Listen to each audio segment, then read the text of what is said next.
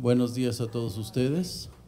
Estamos aquí, tenemos el gusto de estar en el Museo Nacional de Antropología, en el Auditorio Tlaloc del Museo de Antropología, para presentar eh, el disco La concha en los ornamentos del atavío de los dioses mexica, que es un disco compacto, que aquí lo tenemos, el cual este, fue este, elaborado por la doctora Lourdes Suárez Díez, lo tenemos aquí eh, al frente, y este, bueno, en esta ocasión lo van a presentar Adrián Velázquez Castro y Aurelio Pérez. Eh, estaba programado el doctor Alfredo López Austin, pero este, me mandó un mensaje diciendo que no podía estar porque tenía muchos compromisos, pero manda un caluroso saludo para Lourdes, porque dijo que le hubiera gustado mucho estar aquí. Bueno, este, entonces vamos a empezar con la presentación. En primer lugar, eh, el Aurelio Pérez nos va a hacer eh, la presentación de lo que es el contenido del disco para que haya una idea de, qué es este material, cómo se maneja y, qué, resultados puede uno obtener al consultar este material.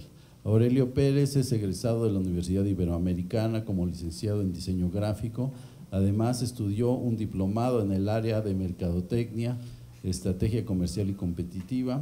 Es director de iPunto, despacho de diseño gráfico desde hace 26 años y ha realizado trabajos en áreas como diseño de sellos postales, diseño de empaques y etiquetas para refrescos, diseño de imagen corporativa, coordinación y edición de libros de arte, edición de libros electrónicos, diseño y programación de CD interactivos, diseño de páginas web y sitios interactivos.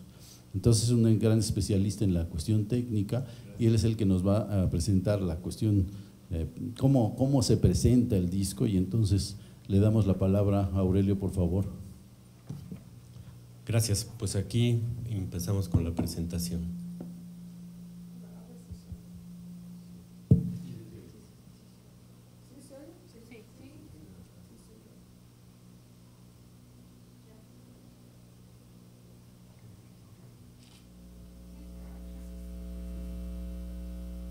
Buenas tardes.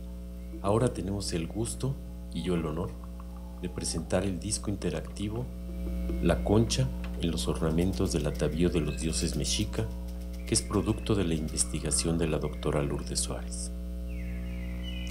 Me gustaría empezar esta presentación con algo de la teoría de la geometría de la historia. Según esta teoría, en la época premoderna, el tiempo es circular la vida se basa en ciclos, como el ciclo de la agricultura, o la idea de los soles en la cultura mexica que decía que cada 52 años el mundo era destruido y empezaba uno nuevo. El tiempo es cíclico, todo empieza, termina y empieza de nuevo.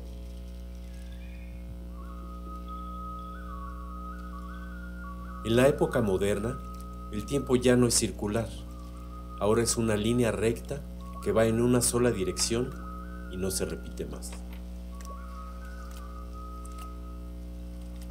La forma en que vivimos con cambios constantes y novedades todos los días nos lleva a pensar que lo nuevo es mejor que lo anterior.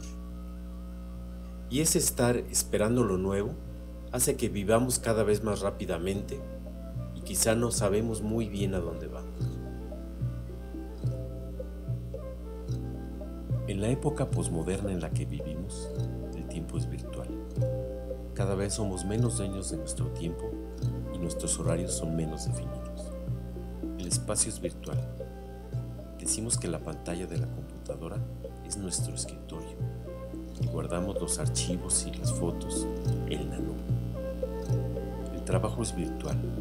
Podemos trabajar desde nuestra casa o desde el teléfono celular. Y hasta nuestras relaciones son virtuales. Llamamos amigos a gente que contactamos por Facebook y quizá nunca conoceremos físicamente.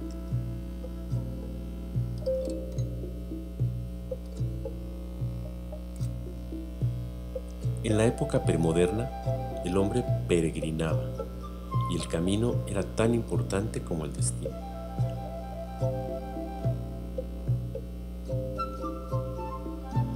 El hombre moderno se traslada.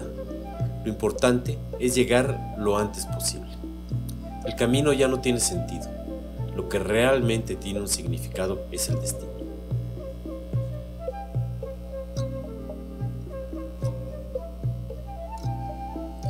Para el hombre posmoderno, no hay camino ni destino. No necesita moverse, vive al lado de los otros. Ahora necesita ejercitarse en una caminadora elíptica. En el país en el que nos tocó vivir, se conjuntan las tres temporalidades. Y es una razón más por la que México es sorprendente y mágico. Es a un tiempo premoderno, moderno posmoderno. Un ejemplo, como sucedía hace 350, 10, 2 años. Ahora en estos días, un grupo de personas va en una peregrinación. En la misma calle, a toda velocidad, pues quiere llegar lo más pronto posible, viene un cafre que arrolla la peregrinación en un evento horrible. Al mismo tiempo, a kilómetros de distancia, está una persona en su caminadora elíptica que se entera por las redes sociales de este accidente. Se entera además que al chofer le dicen Lord Peregrinación. Esto viene al caso, pues en este disco compacto también convergen distintos tiempos. Me llama la atención cómo se conjuntan dos mecanismos de comunicación tan separados en el tiempo. Utilizamos una herramienta posmoderna para mostrar digitalmente la representación gráfica del conocimiento de nuestras raíces de una forma interactiva. Y esto es gracias a la doctora Lourdes Suárez, que ha entregado muchos años de su vida en la investigación y nos comparte el resultado de una manera fácil y dinámica. Y gracias, claro, a Marta López, que fotografió a los dioses de los códices y con el Photoshop los dejó como si fueran artistas de moda. En Y Punto nos sentimos muy agradecidos por habernos invitado a participar y estamos muy contentos por el resultado de este proyecto.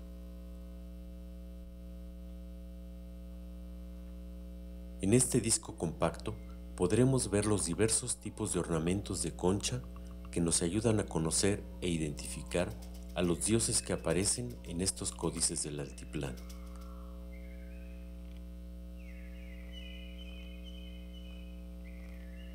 Son seis los códices que se presentan en este trabajo. El códice borbónico, el códice Magliavecchi, el códice teleriano remensis, el códice Tonalamatus de Van, el códice Vaticano A y los primeros memoriales. En cuanto a los dioses y diosas mexica, veremos a 52 deidades, desde Atlagua hasta Yauteca.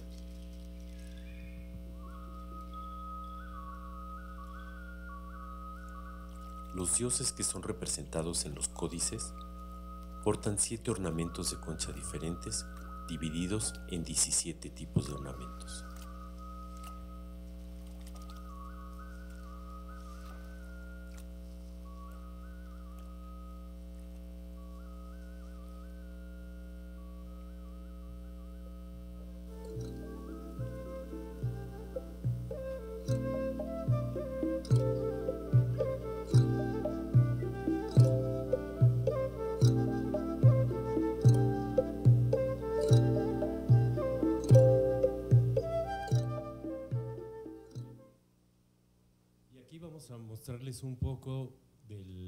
funcionamiento del CD.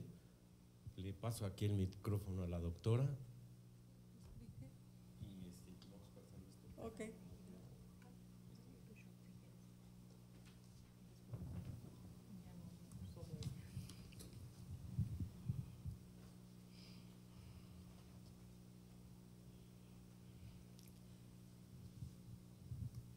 Vamos a empezar por los ornamentos. Y de los ornamentos, de los que ustedes vieron, que son 17 eh, tipos de ornamentos divididos a su vez en, seis partes, vamos a escoger un ornamento porque no queremos tampoco cansarlos. Entonces vamos a escoger un ornamento que yo seleccioné porque me gusta, ¿no? Eh, si no les gusta, me echan la culpa. Este, es el ejecacoshcat.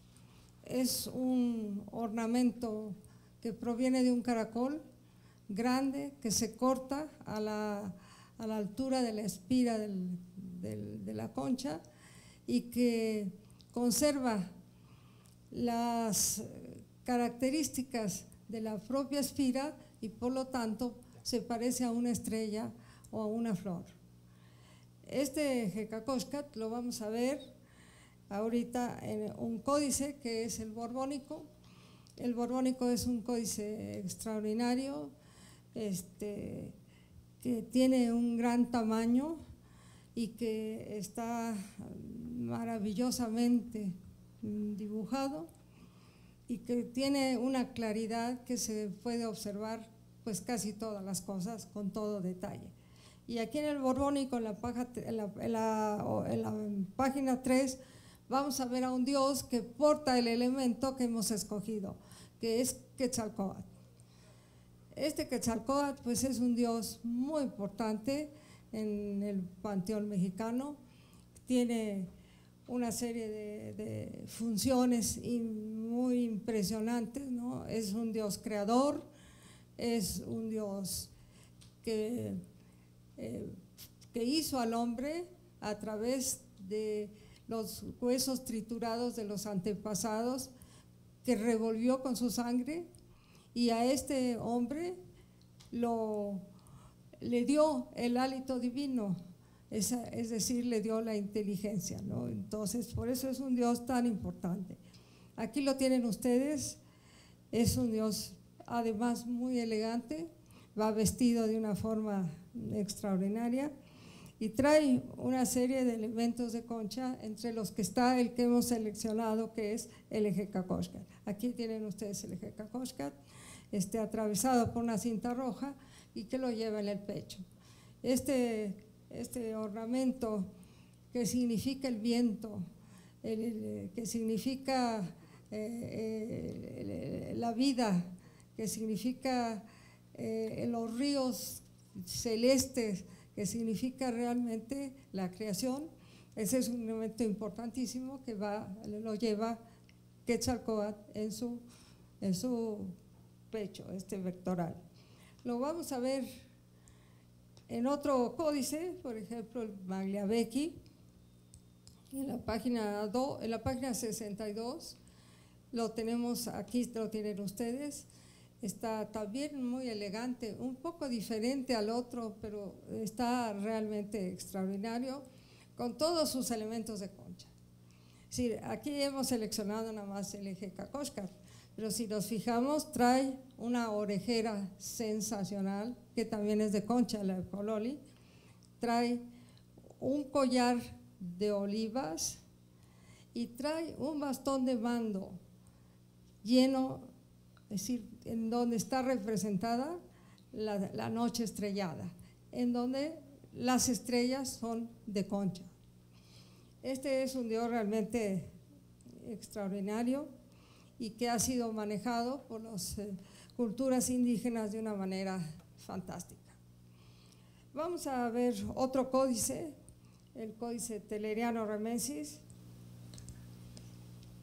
ustedes pueden picar el botón que dice códices y pues ahí tiene la lista de los seis códices que manejamos y entre ellos vamos a escoger el teleriano. Y en el teleriano vamos a ver los pendientes. ¿Qué es un pendiente?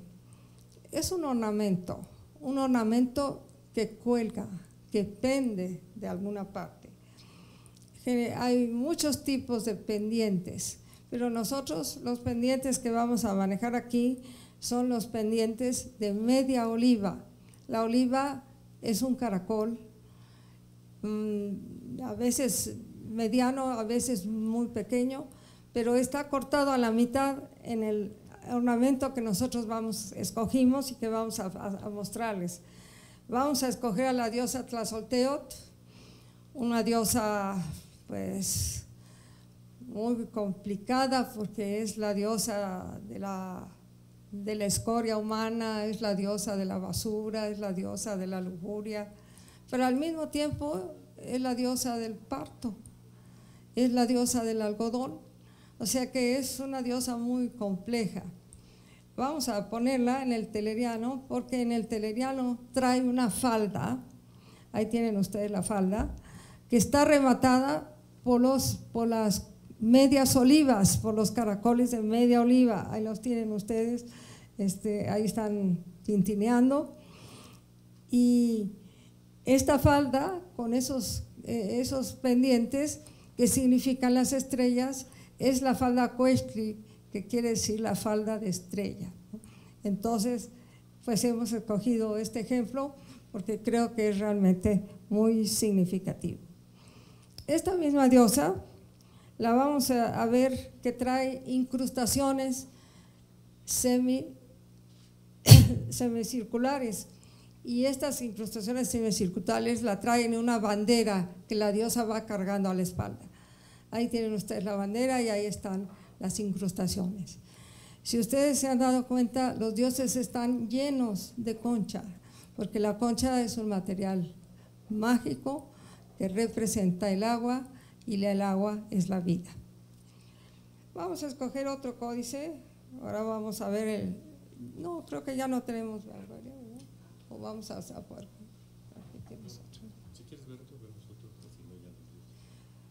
vamos a, pasarles un Dios pues que es uno de mis preferidos porque es realmente precioso, se llama Tlahuispan Canteutli.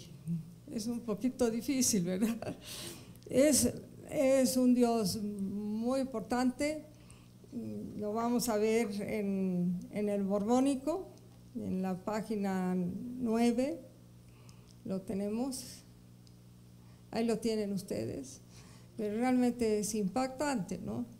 Este, está, la, deidad está sentada y lleva un pectoral que se llama el anáhuatl, que es un, pectoral característico de los dioses Tezcatlipoca. Entonces este, pues tal vez sea, tal vez sea un Tezcatlipoca, quién sabe. Ahora, trae además un, un antifaz con cuentas. Allí tienen ustedes el anáhuatl y aquí está el antifaz con incrustaciones de concha alrededor. El antifaz es negro, la concha son las estrellas, entonces trae un antifaz con la noche estrellada. Trae otras cosas de concha, vean. Arriba de su cabeza hay una corriente de agua que significa la guerra. Vean ustedes que tienen unas flechas y eso significa la guerra el agua quemada es la guerra. Y el agua siempre va rematada por caracoles oliva y por cuentas de concha. Ahí tenemos los caracoles y después tenemos las olivas, las cuentas. Entonces vemos que este Dios es un Dios que tiene realmente una gran cantidad de ornamentos de concha. Todavía escogimos uno, uno más, que es un Tezcatlipoca. Tezcatlipoca es el dios creador, es el dios, pues tal vez más importante del panteón mexica, y este dios siempre lleva en el pecho el anáhuatl. Vamos a buscarlo. En su disfraz, porque se disfraza muchas veces, y lo vamos a poner en su disfraz, aquí se los vamos a pasar en su disfraz de guajolote, ¿no? el chalchu totoli. Chalchutotoli. Lo vamos a ver en el Borbónico, porque ahí es donde está más, más grande representación. Y ahí lo tienen ustedes con su gran este, vestimenta de guajolote. Pero siempre tiene el anáhuatl, siempre, siempre. Este, además, en su representación de guajolote, trae un sombrero con la noche estrellada. ¿Sí? Sí lo pueden ver, ¿no? Ahí está. Vamos a pasarlos, lo vamos a pasar en su disfraz de Cuautli, de águila. Aquí lo tienen, el Cuautli.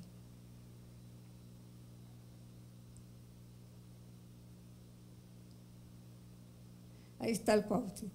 Es realmente impresionante su traje, ¿no? Con todas las plumas del águila y trae, como debe ser, en el, en, el, oído trae el espejo humeante, porque eso quiere decir Tezcatlipoca.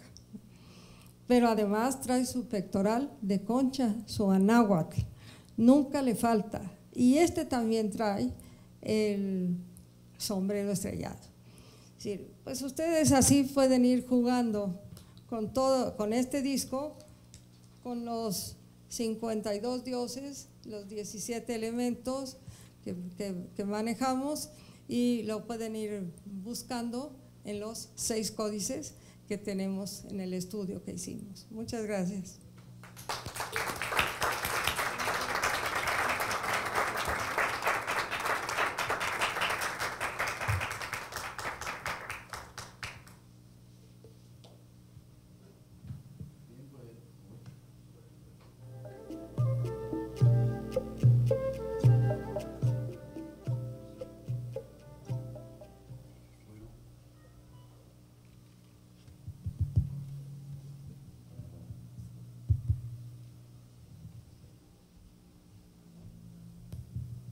Bueno, continuamos con la presentación este, de un especialista en conchas, que además, por otro lado, es alumno de Lourdes desde pues, hace muchos años, eh, Adrián Velázquez Castro. Es licenciado en Arqueología por la Escuela Nacional de Antropología e Historia, maestro en Historia y en Historia por la misma institución doctor en antropología por la Universidad Nacional Autónoma de México. Es curador del Museo del Templo Mayor, de, bueno, fue curador del Museo del Templo Mayor de 1990 a 1993 y profesor investigador del Instituto Nacional de Antropología, adscrito al Museo del Templo Mayor desde esa fecha, el 93 a la fecha. Gran parte de su desarrollo profesional lo ha dedicado a la investigación de los materiales arqueológicos de Concha, habiendo estudiado colecciones de la zona maya, de la costa del Golfo, del centro de México y del norte de México. Entre sus publicaciones destacan los libros Tipología de los objetos de concha del Templo Mayor de Tenochtitlan, El simbolismo de los objetos de concha de las ofrendas encontradas en el Templo Mayor de Tenochtitlan y la producción especializada de los objetos de concha del Templo Mayor de Tenochtitlan. Sin más, le damos la palabra Adrián para que nos para que nos dé sus comentarios. Bien, muchas gracias. Eh, por supuesto, es un gran placer, es un gran honor estar aquí con ustedes presentando este CD, ¿sí? que es, eh, bueno, como ustedes ya vieron, es creación de tres personas que están aquí presentes, ¿sí? de Lourdes, de Aurelio y de Marta, la fotógrafa, por supuesto, las imágenes son muy importantes y son sensacionales. Y bueno, ya vimos todo el manejo que se hace de esto con todo el conocimiento que tiene la doctora Suárez precisamente sobre los objetos de concha, fundamentalmente en las representaciones pictográficas, en los códices del centro de México. Este, del siglo XVI, por supuesto. Eh, bueno, hay que decir que Lourdes Suárez es, por supuesto, la pionera en el estudio de los materiales de concha en México y en, en el mundo también se puede decir. ¿sí? Es una de las primeras eh, investigadoras que le dedican una atención a estos materiales que eh, hemos logrado ver que son muy, muy importantes, que fueron muy importantes para las sociedades del México prehispánico. Imaginen ustedes que muchas especies de conchas, especies muy particulares porque no era cualquier concha, ¿sí?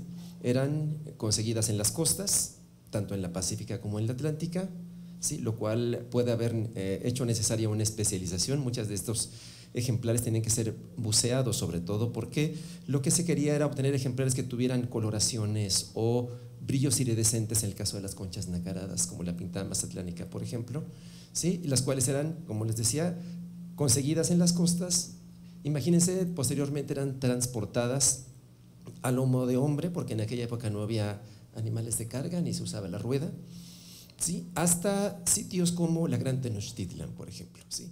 Ustedes quizás sepan o ya hayan leído que en las ofrendas que se han recuperado en el Templo Mayor, las conchas de los moluscos son los elementos más numerosos que han aparecido.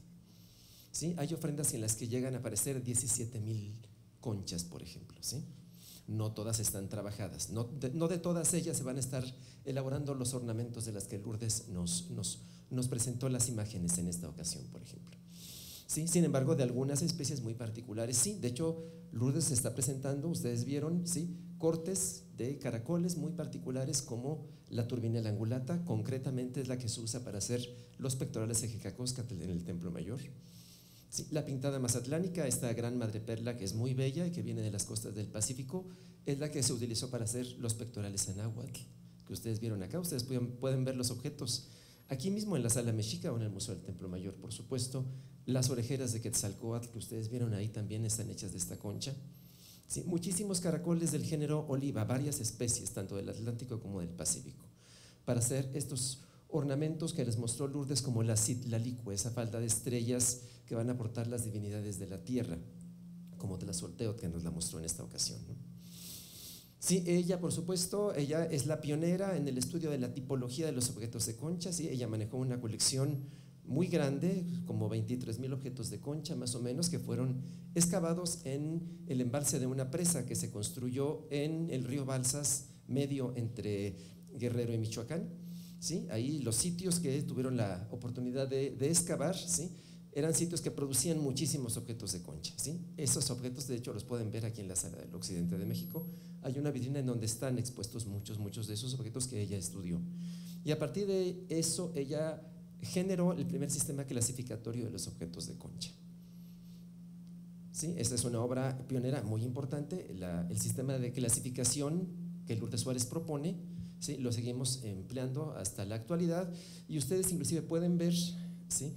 Eh, que ella utiliza muchas de las categorías que propone en, los ornamentos, como por ejemplo cuando habla de las cuentas, nos habla de cuentas en forma de disco o en cuentas en forma de rueda, por ejemplo, que es una cosa que ella propone en ese sistema clasificatorio precisamente. Ella también es la que genera el primer estudio tecnológico, ¿sí? ¿Sí? Su libro sobre técnicas de manufactura de los objetos de concha también es una obra pionera. ¿no? En este caso, por ejemplo, eso no lo vemos tan presente en, esta obra, pero es algo muy importante también de su, en su trayectoria profesional.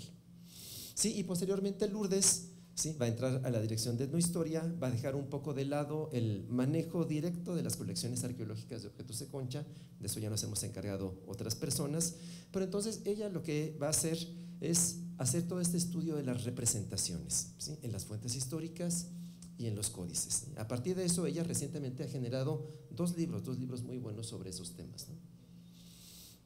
Y precisamente, producto de esa enorme investigación que tiene muchísimos años es el CD que estamos viendo en esta ocasión.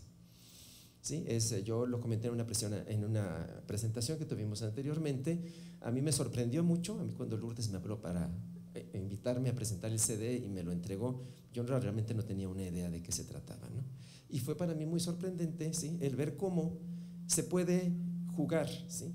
jugar con toda esta información, que es una información tan rica, con los ornamentos, con los dioses y con los documentos, ¿sí? para de una manera muy amigable realmente ir aprendiendo muchísimas cosas. Ustedes pueden ver que el, CD es muy rico en información. ¿sí?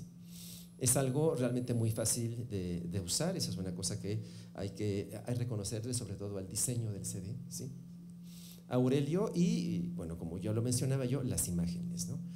¿sí? Con Marta, este, la fotógrafa, pues Lourdes ha tenido una colaboración de muchísimos años, ¿sí? Se le han pasado fotografiando ornamentos de concha en todo México, a lo largo y ancho del país, ¿sí? Organizando exposiciones, ¿sí? Porque Lourdes, uno de sus grandes intereses, y esto también lo vemos aquí, es hacer una gran difusión de todo este conocimiento sobre los objetos de concha, que ha sido el tema, pues realmente el tema de su vida. Y este es pues un resultado más. ¿sí? Yo ya no voy a abundar más, ustedes ya vieron cómo funciona. ¿sí? realmente yo lo que, a lo que los invitaría en este momento sería que subieran, si se animan a pasar los tumultos que hay en la feria del libro, ¿sí? fueran al stand de Lina y adquirieran el CD que además se vende en una cantidad que es realmente ridícula, creo que cuesta 40 pesos. ¿Sí? Aquí afuera. Ah, le están vendiendo directamente aquí afuera. Ah, pues qué bueno. Yo realmente les recomiendo que lo hagan. Es algo muy accesible, muy bonito y con lo que realmente pueden jugar, pueden entretenerse y pueden sobre todo aprender muchísimo. Entonces yo felicito muchísimo ¿sí? a Lourdes, a Marta y a Aurelio por este resultado tan sensacional que, estamos, que tenemos la oportunidad de presentar en esta mañana. Muchas gracias.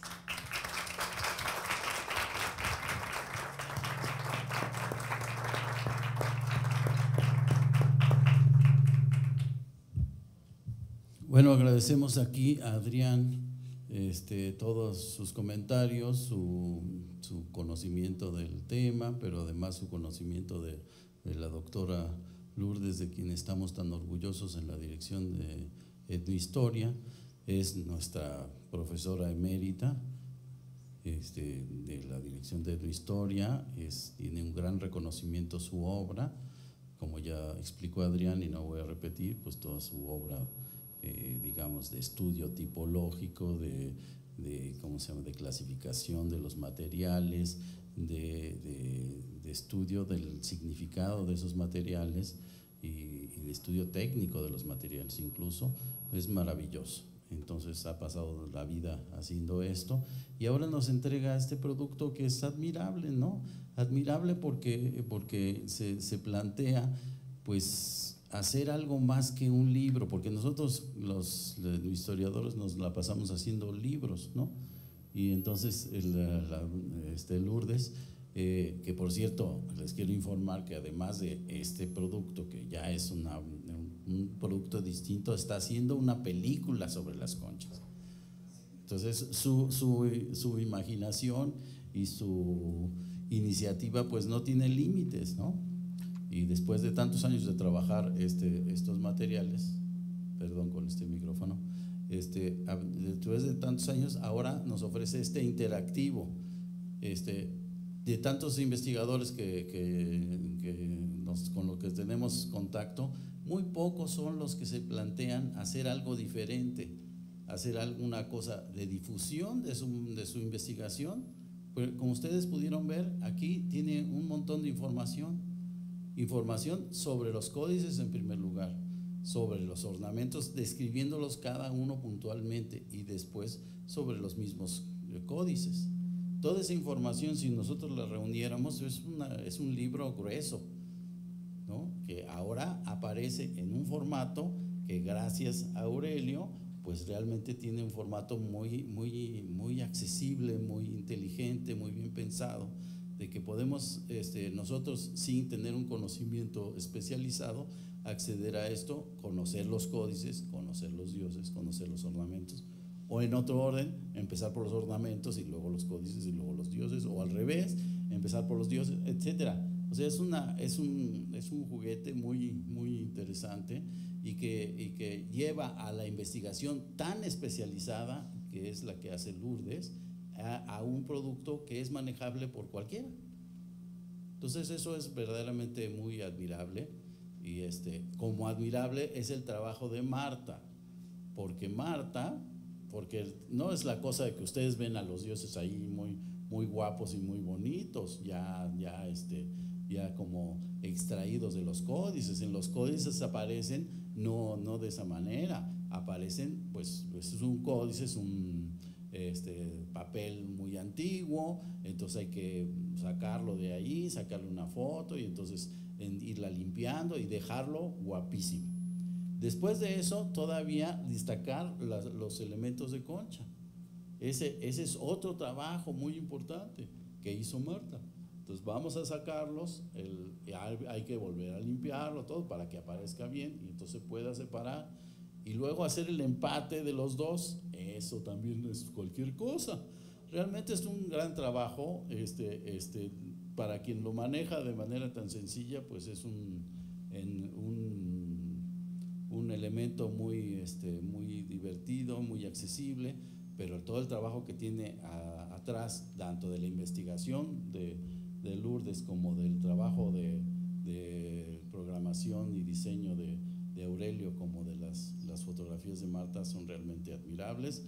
Y yo, como ya dijo Adrián, pues hay que, los invito a comprarlo, aquí está afuera, 40 pesitos no son nada, nos los gastamos en, en una coca y, y papas y entonces, este, pues yo creo que lo, este, eh, pues yo felicito a Lourdes especialmente de, todo su trabajo y de todos su, los resultados que ha realmente obtenido a lo largo de los años.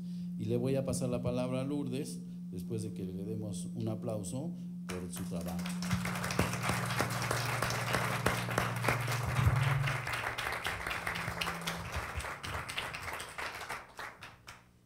ya hablé mucho, pero bueno, yo sí quiero decirles cómo se me ocurrió esta idea. Yo siempre he estado muy preocupada porque México tiene una cultura atrás de 1500, atrás, extraordinaria. Que ustedes la ven en los museos a veces, las piezas, pero no es accesible a todo el mundo.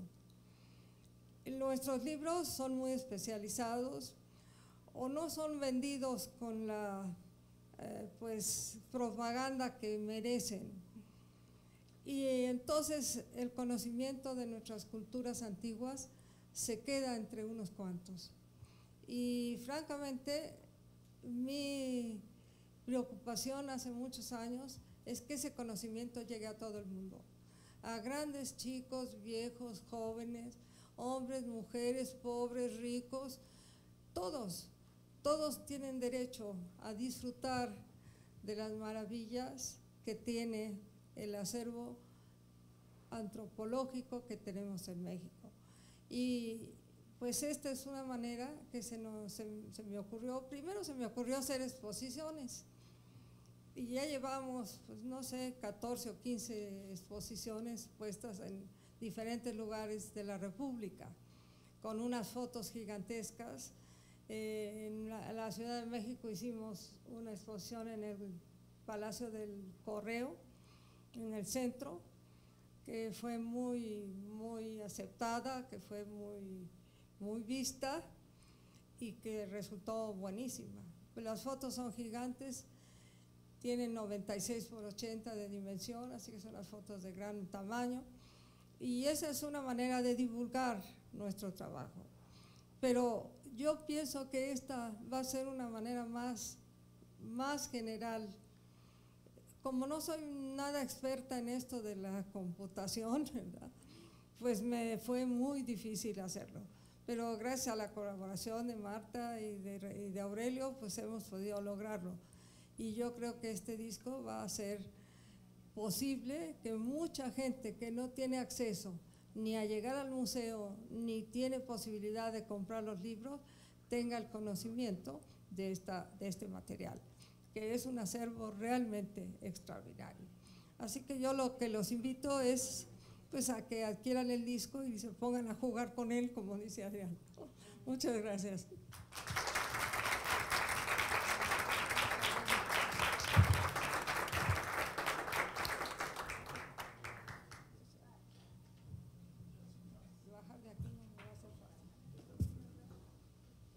Les agradecemos su presencia y eh, pues los invitamos a seguir en, en las actividades de la Feria del Libro de Antropología e Historia. Gracias.